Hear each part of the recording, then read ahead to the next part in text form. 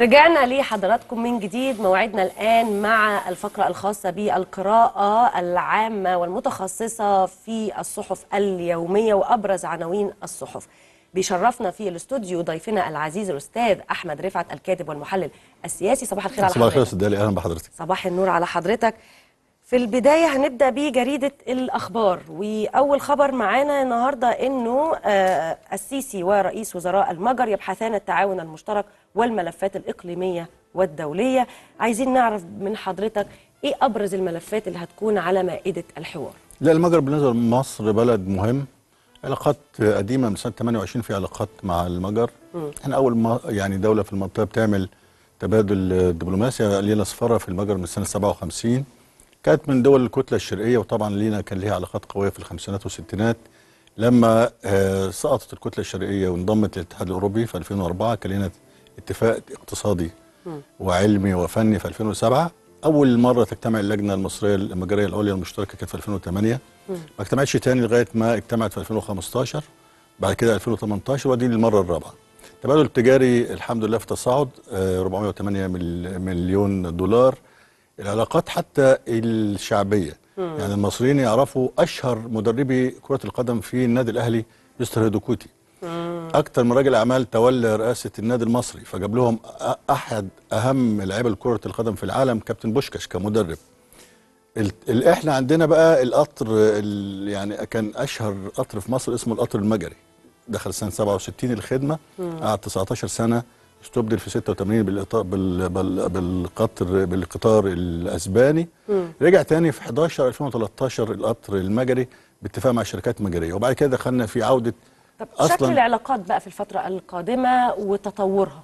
إحنا أغلب الملفات متفقين عليها حتى في تعاون في مجالات متخصصة. يعني في المجال السياسي اتفاق شامل تقريبا القضية الفلسطينية القضية العربية القضية الدولية حتى الحرب إيه الأوكرانية. لكن على مستوى الحاجات المتخصصة اللي مصر اهتمت بيها الفترة الأخيرة مجال البيئة لينا تعاون مجال الم- المياه لينا تعاون وما مجال الهجرة غير الشرعية لينا تعاون ومجال مكافحة الإرهاب لينا تعاون. ف علاقات تاريخية ومستمرة تاريخية. في المستقبل على الأرض آه، يعني خليناها محل آه، آه، تشابك اقتصادي وتشابك مالي لأن مم. كمان المصريين حتى حتى المصريين في المجر بيحولوا في حدود يعني مبلغ قليل بس في تحويلات تع-. تعدى 3 مليون دولار عندنا 40 ألف سائح مجري كانوا السنة اللي فاتت طيب برضو من نفس الجريدة جريدة الأخبار هناك خبر في الصفحة الخامسة النواب يواجه وزيرة التضامن ب 166 أداة رقابية تعليق حضرتك على هذا الخبر والله أنا من من من يعني من الداعين دايما لأنه المجلس النيابي يمارس دوره الرقابي بالإضافة إلى التشريع على أروع ما يكون. يعني الحمد لله آه، مش مش بالضرورة تبقى السيدة الوزيرة يعني آه، في تقصير لكن ممكن تبقى في ملاحظات. حضرتك عارفة طبعا الأدوات الرقابية بتبدأ من السؤال وتتصاعد طلب مناقشة عامة آه، طلب الإحاطة الاستجواب لجنة قص الحقائق لغاية طلب ال- البحث أو آه، حجب الثقة عن وزير من الوزراء أو حتى الحكومة. لكن إحنا قدام آه، عدد لا بأس به من ال- الأدوات 166 أو حتى 168 آه، طلب ده معناه إنه أداء الوزارة تحت عين المجلس النيابي وده معناه إنه أداء الوزارة تحت عين الشعب نفسه. ده بيخدم المواطن في الآخر بيخدم المواطن لأن وحياة في ملاحظات كتير. ممكن تبقى حضرتك عارفة أستاذة داليا ال- يعني جهات الإدارة الوسيطة اللي من المديرين العموم ونازل ممكن يبقى فيه بعض الملاحظات. ده بينعكس سلبا على بعض المستحقين. ممكن تكافل وكرامه في مستحقين لا يصلهم آه، اللي الدولة مخصصاه. ممكن غير مستحقين بياخدوا اللي الدولة مخصصاه. مش مشكلة إنه يبقى في ملاحظات الم- المشكلة أو الأهم إنه الملاحظات دي تبقى محل رعايه الفترة اللي جاية. وتختفي إن شاء الله. نروح لجريدة الوطن. أول خبر معانا أنه التحالف الوطني يقدم 200 منحة لطلاب الجامعات التكنولوجية التكنولوجية. آه طبعا التكنولوجي هو ده دلوقتي السائد وهو ده آه آه محط اهتمام العالم وهو ده سوق العمل القادم بمهاراته الجديدة. فشايف حضرتك أنه النوع ده من المنح إزاي ممكن يثري من مهارات الطلاب ومهارات المتقدمين وسوق العمل في نفس الوقت. وهو توجه الدولة المصرية عموما لأنه فعلا زي ما حضرتك بتقولي ده سوق العمل اللي جاي وده اللي مصر هتعتمد عليه الفترة المقبلة. الحمد لله عندنا آه، يعني ما شاء الله نمسك الخشب 866 ألف طالب التحقوا بالجامعات السنة دي.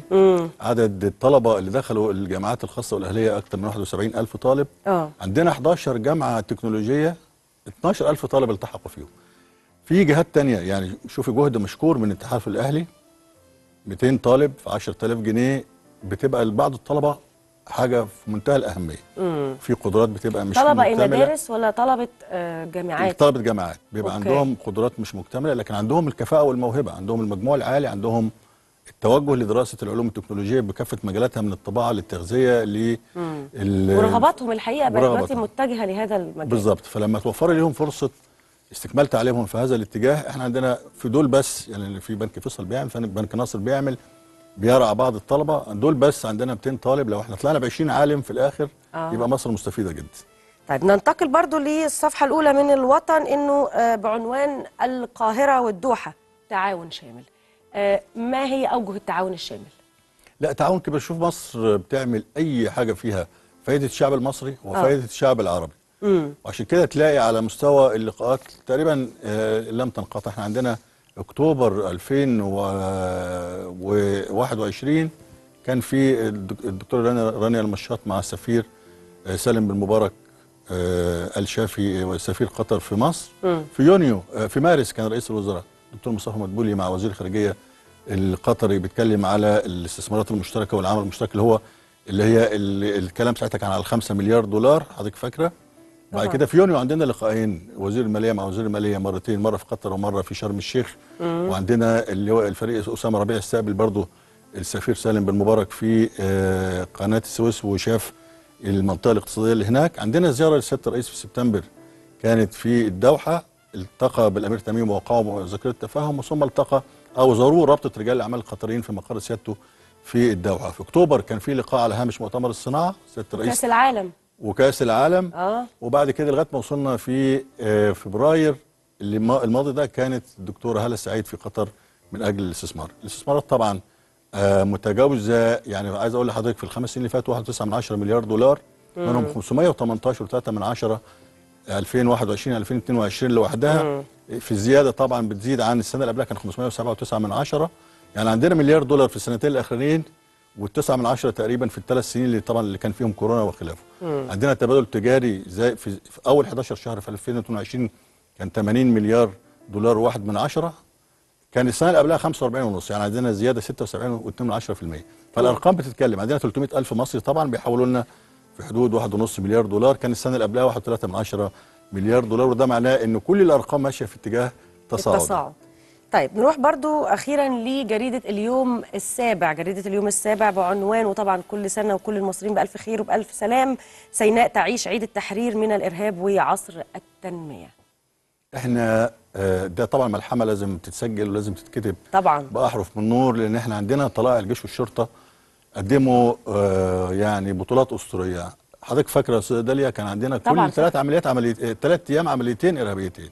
بين تفجير لغم أو آه الهجوم على كمين أو إطلاق رصاص أو عملية انتحارية. النهارده الحمد لله واصلين إلى صفر. كانت حربين حرب. تنمية وحرب آه، طبعا تنظيف آه، سيناء كوي- من كويس. إنك قلت لنا لأن في نفس الوقت اللي إحنا بنتكلم فيه على ده آه. ده عملنا رفح الجديد 10400 مسكن.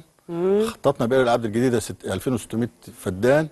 عملنا شرق بورسعيد واحدة من أكبر المدن في مصر ثالثه تقريبا بعد العاصمة والعالمين اللي 23000 فدان. عملنا 21000 فدان المزارع السمكية لو تنزل لتحت عملنا صحاري السرابيوم الأربع تنمية أنا- شاملة. أربع انابيب أنابيب كبار أربعة قطر 4 متر 420 متر رايحين يزرعوا لنا يعني أفق 400 ألف فدان. عملنا قرية الأمل 3500 فدان اللي توزعت على شباب الخريجين. عملنا الإسماعيلية الجديدة اللي هي 2828 فدان اللي هم 57000 وحده سكنية.